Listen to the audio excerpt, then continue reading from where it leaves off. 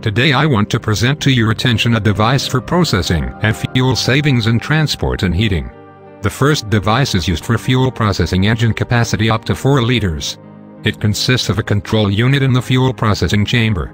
The second device is intended for fuel processing, truck tractors and other equipment with engines and volume up to 14 liters. Laser technology is used here, and the triboelectric effect on the fuel. The combination of these technologies in a single device saves fuel in transport and heating by 20%. The device does not mythical in the fields. And the only scientifically proven process is impact. There is an enormous amount of fuel-saving technologies on the market, but these devices are ineffective or not working. We offer a 100% working device.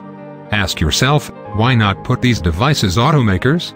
What will choose the automaker improving the ecological parameters and fuel economy, as well as the extension of the service life of the vehicle by increasing the cost of production, or increase their marginal income on sales of spare parts and new cars?